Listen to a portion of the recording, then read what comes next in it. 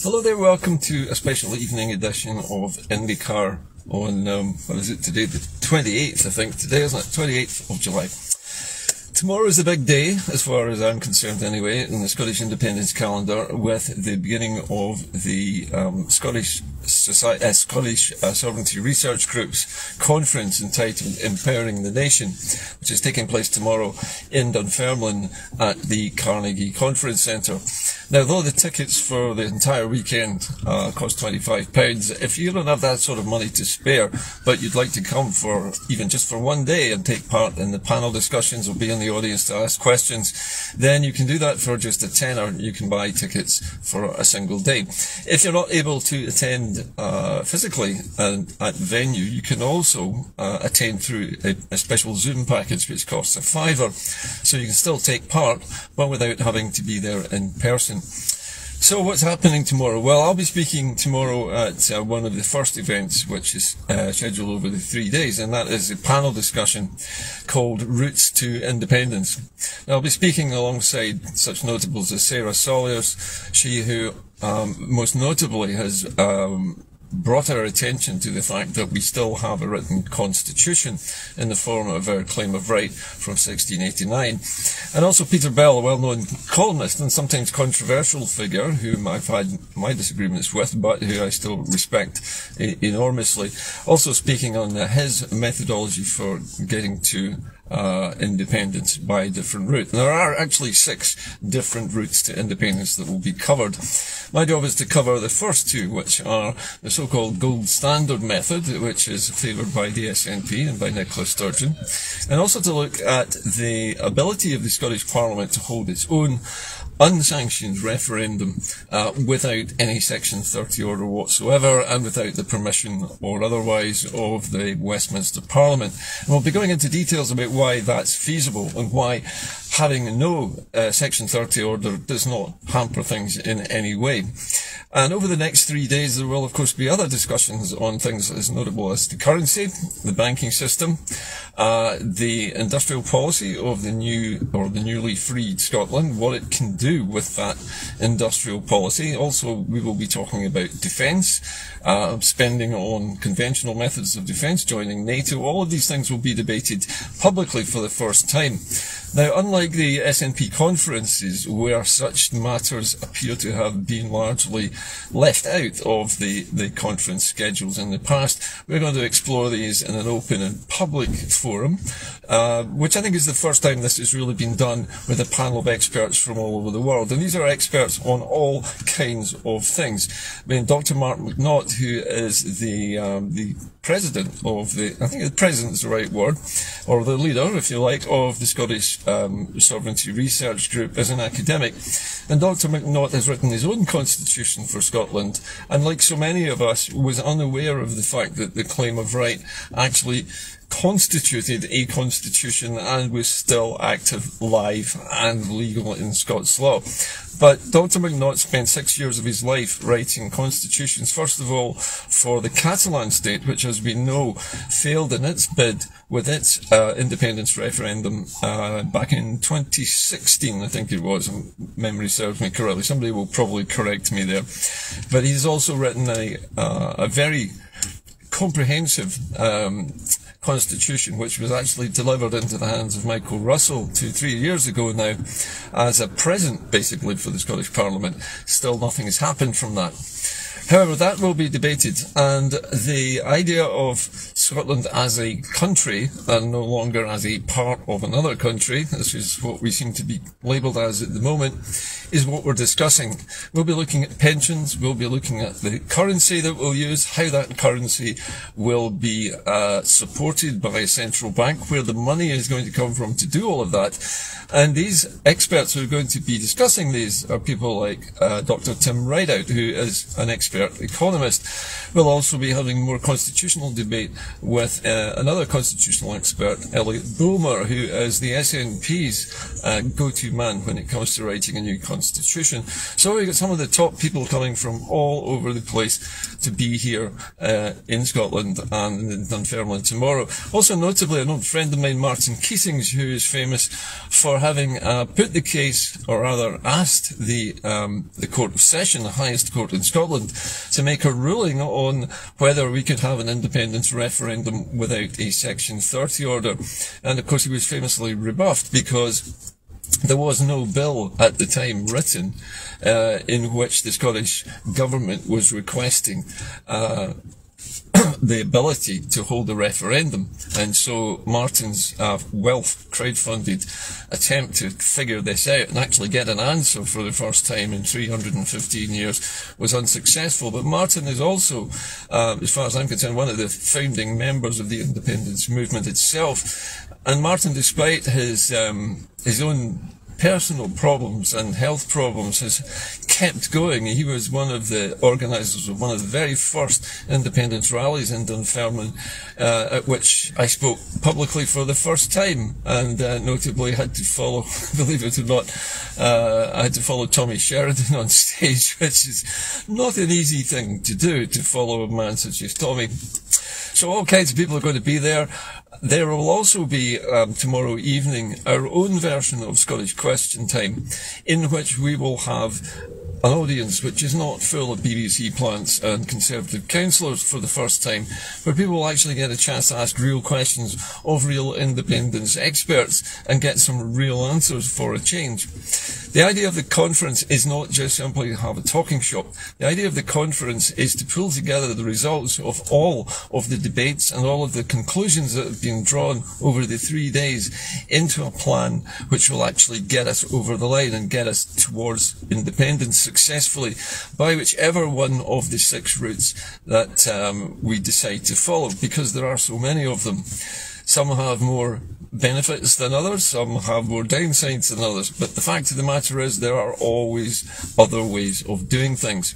So I recommend if you can to come along. If you can't come along, then the uh, question time program that we're planning for the evening, as far as I remember, is actually going to be televised live. I am not certain yet how that's being done, so I can't tell you that. But if you go to the Scottish Sovereignty Research Group's website uh, and Empowering the Nation page, you should find it all there. So I'm looking forward to this tomorrow. I've taken a day out of my schedule to go do this.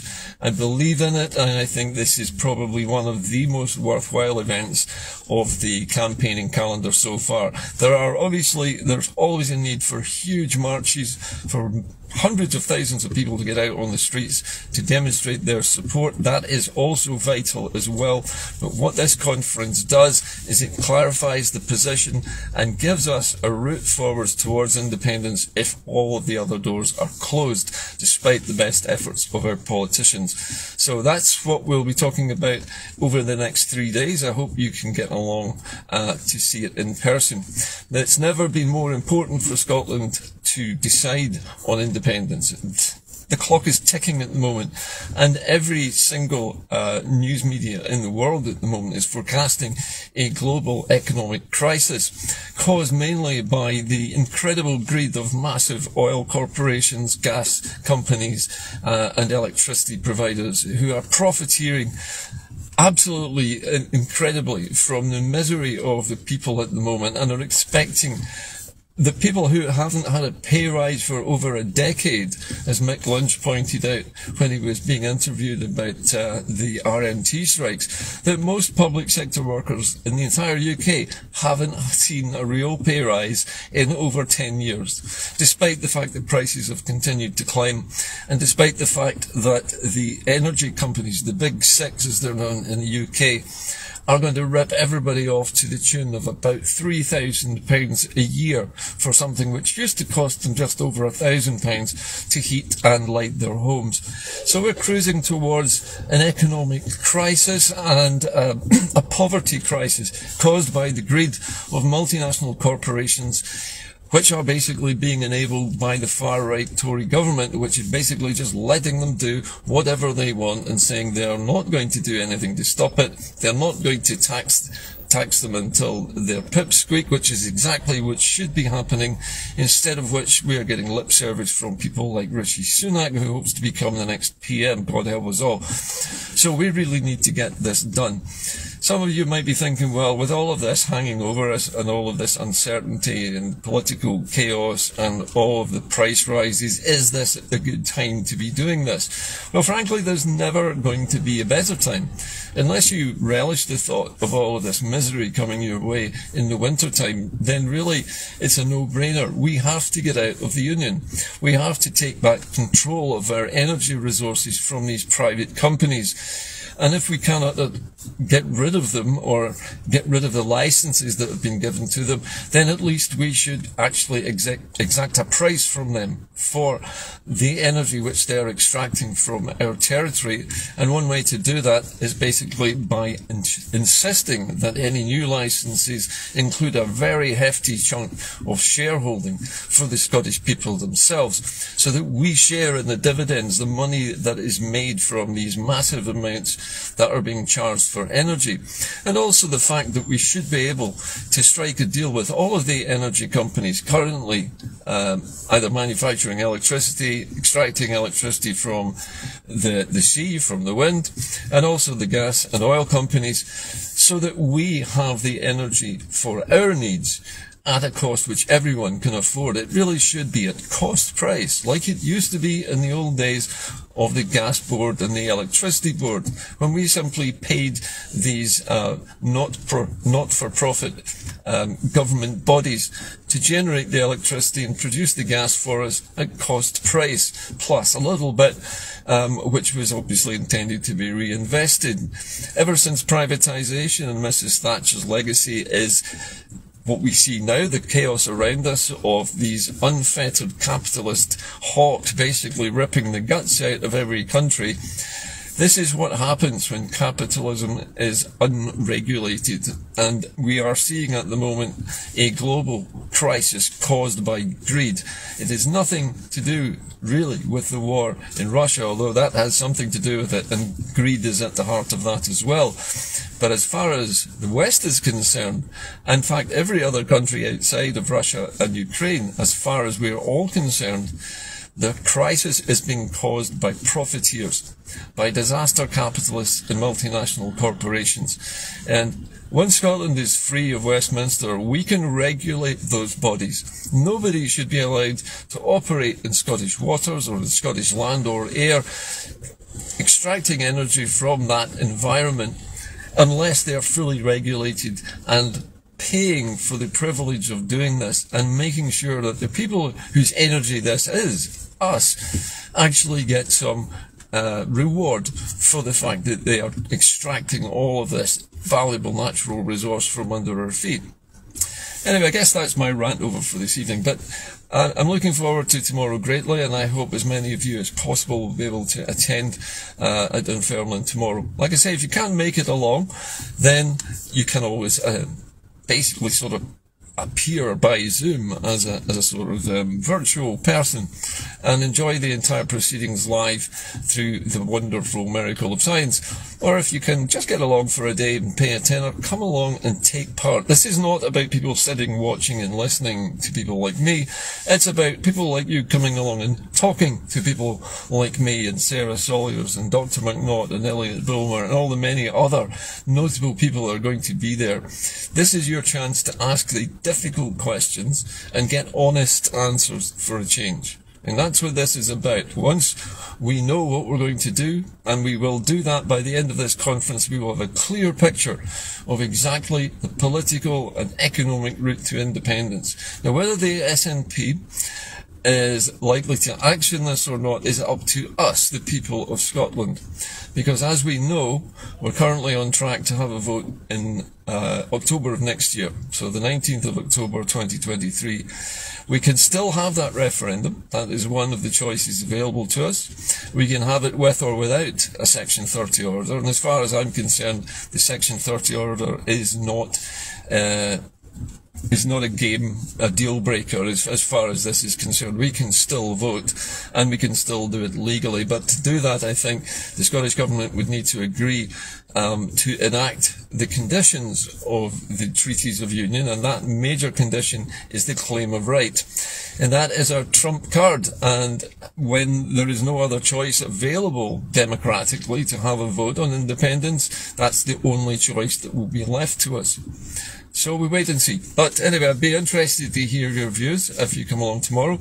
And uh, I will try to live stream something from the proceedings tomorrow. I'm not sure quite how I'm going to do it. I might have a selfie stick and just hold the phone while I'm speaking. But um, maybe somebody will give me a tripod. Let's hope so. Anyway, hopefully see you tomorrow. But in the meantime, enjoy your evening. And remember that independence is not far away now. And there are so many different ways of getting there we don't have to worry about Section 30 orders, and it doesn't matter which of the clown show is elected to rule England in London. That will have no bearing whatsoever on whether we have the right to vote for independence or not. I'll see you again tomorrow. Bye bye for now.